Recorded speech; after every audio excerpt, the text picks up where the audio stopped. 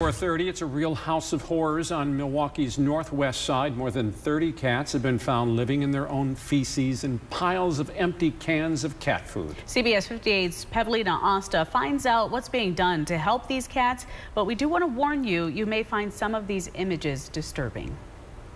In early August, neighbors started complaining about an overwhelming odor coming from this house near 95th and Fond du Lac. The Milwaukee Area Domestic Animal Control Commission says what they found inside was horrifying. The cats just use the whole house as a bathroom, which is very uncat-like. It's in my top five cat houses or animal situations, and I've seen a lot. MADACC Executive Director Karen Sparapani says it's clear the cats have been living alone for a long time. No human could live in this house. I mean, there is no place for a human to exist in that house. The house is full of fleas.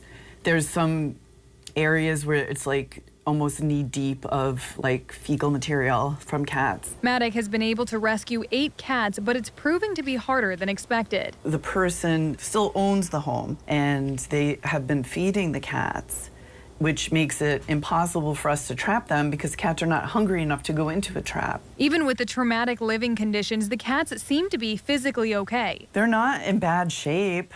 I mean, they're certainly well fed, you know, but I mean, they it's just not natural for cats to live that life. Unfortunately, Sparapani says cases like these are becoming more common. When I first started here, it was like once a year. Now it's like once a month that we get something of this nature.